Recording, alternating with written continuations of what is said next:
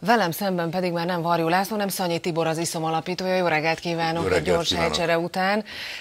Na vágjunk is bele, egy írásában nagyon kikelt Pokorni Zoltán ellen a Turul emlékmű miatt. Ugye az egész ugye a 444.hu dokumentumfilmje miatt került most elő. Miért kelt ki ennyire Pokorni Zoltán ellen? Most én ezt nem is idézem a nézőnknek egyébként, amit írt rá. Nagy kár. A helyzet az, hogy ez 2005 óta ott áll ez a förtelem. Nem nevezném szobornak, mert gyakorlatilag ennek a turulnak jelenleg ott azon a helyen, azon a helyen, egyetlen üzenete van, hogy az életükben és halálukban egyaránt meggyalázott emberek ezreit, és azoknak felmenőit arra emlékeztesse, hogy úgy kell nektek. Szóval ez olyan szinten felháborító, hogyha már a sokadik történészek, művészek, filmesek, dokumentalistáknak a feldolgozásába kiderül, hogy még annál is rosszabb az, ez az egész dolog, mint ahogy az, az eredetileg tűnt. Ugye hosszú évek után derült ki, hogy a polgármester nagyapja is ott van az áldozatok között felsorolva, miközben ő volt az egyik szervezője ezeknek a tömeggyilkosságoknak. Tehát az, hogy városvezetőként nem tud sarkára állni, és azt mondja, hogy már pedig ennek a szobornak onnan mennie kell.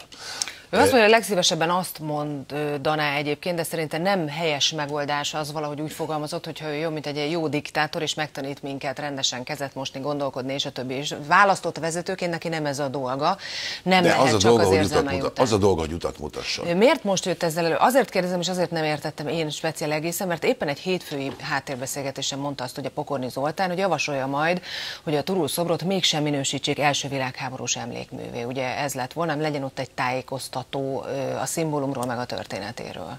Igen, és maradjon ott a szobor. Ez a lényege. De ő azt mondja, hogy ezt Ungvári Krisztián vetette föl egyébként az eredeti javaslatot. De Ungvári Krisztián egy történész sokat foglalkozott, azt nem lehet elfogadni, hogyha ő fölveti Ungvári Krisztián, hogy legyen ez egy első világháborús emlékmű, akkor az nem egy helyes dolog?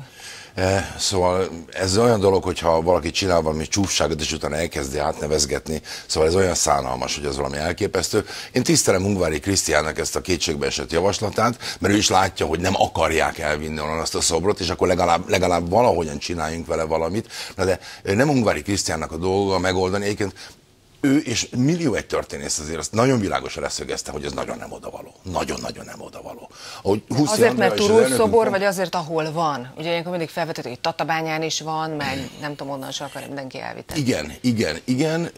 A Turulnak nyilvánvalóan most nem akarok a történészi mélységekbe visszahúzódni, de a lényeg az, hogy ott azon a téren, ahol egyébként szemben a nyilas pártházzal, vagy egykori nyilas pártházzal, ahol a gyilkosságok raindultak, és ott is történtek, oda annak a nyilas brigádnak az egyik jelképét oda rakni, és egyébként azért ezt nem mondjuk azt, hogy ú, ártatlan, hát ez egy zarándok helyé vált a gárdistáktól kezdve mindenféle szélsőjobbos nacionalista figuráknak, tehát leveszi a nép, hogy itt miről van szó, most lehet itt hazudozni, és Pokorni Zoltának azért kell távozni a közéletből, mert 15 éve csak hüppög, csak sír, csak zokog, a szobor ott van, bocsánat, ez a förtelem, és gyakorlatilag ezzel mutatta be újjónak is a tökéletes alkalmatlanságát, hogy utat mutasson, irányt mutasson. Hány hát politikus hány látott az elmúlt húsz évben, aki bocsánatot kért, vagy megbánt valamit, esetleg meg is könnyezett valamit őszintén? Ö, nézze, most sírással nem lehet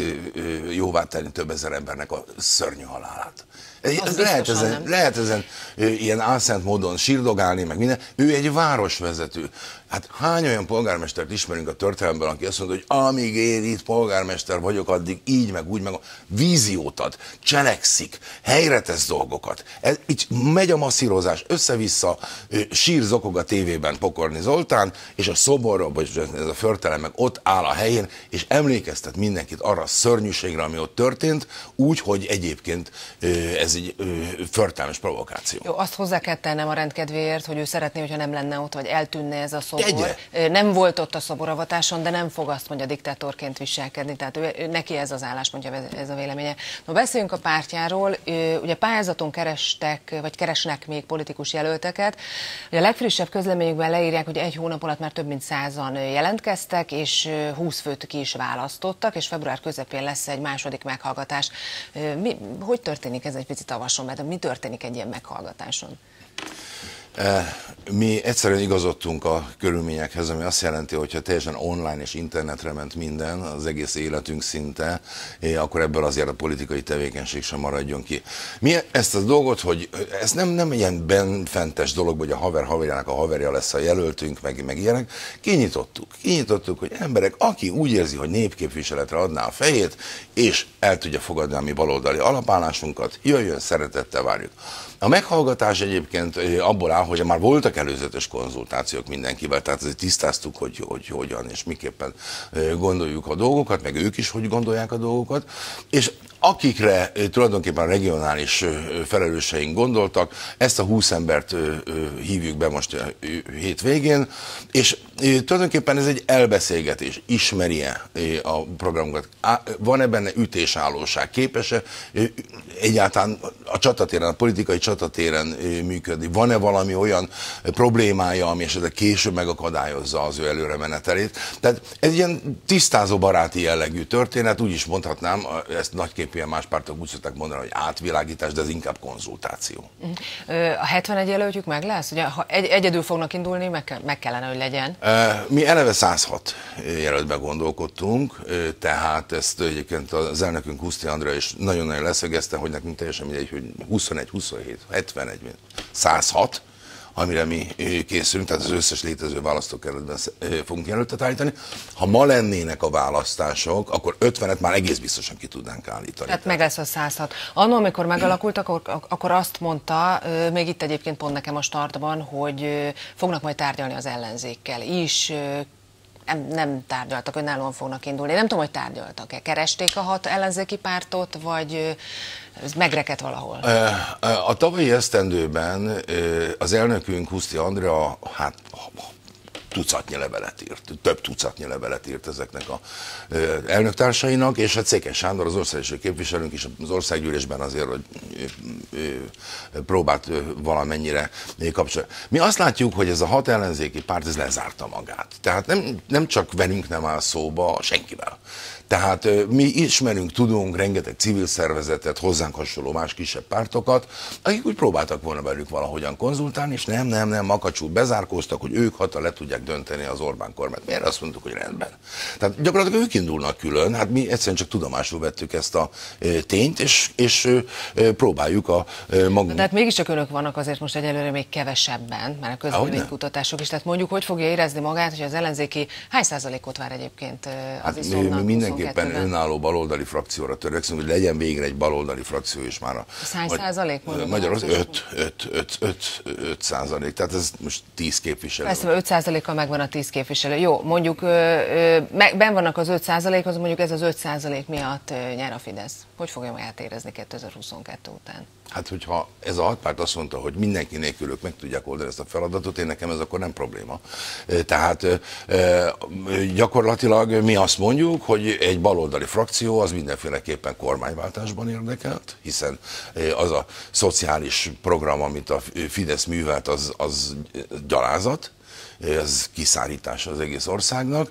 Tehát mi, hogyha szükség lesz a mi erőnkre, akkor természetesen egy új kormány, egy, egy progresszívabb irányvételű kormánynak oda tesszük a erőnket minden további nélkül.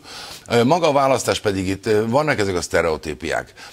Mi úgy látjuk, és én higgyel nekem, hogy ezt én magam is 20-valahány éves politikai tapasztalatom, ilyen nincs, hogy valakitől elvenni szavazatot. Ez egy ostobaság. Vagy megkapja valaki azt a szavazatot, vagy nem kapja meg azt a szavazatot szavazatot. Hát ki honnan nézi? Lejárt sajnos az időnk, miniszterelnök jelöltjük lesz-e? Hát már van, tavaly július 18-a óta személyemben, azt hiszem, hogy én voltam az egyetlen, és most pár nappal ezelőtt... Akkor ez most már teljesen hivatalos is. Hát mind, minden kis cégnek is van igazgatója, tehát minden pártnak kell, hogy legyen miniszterelnök jelöltje. Én úgy látom, hogy jelen pillanatban rajtam kívül még egy emberről hallottam, hogy szintén a pártja őt jelölte konkrétan miniszterelnök jelöltnek, úgyhogy most már ketten vagyunk. Köszönöm, hogy itt volt. Köszönöm szépen.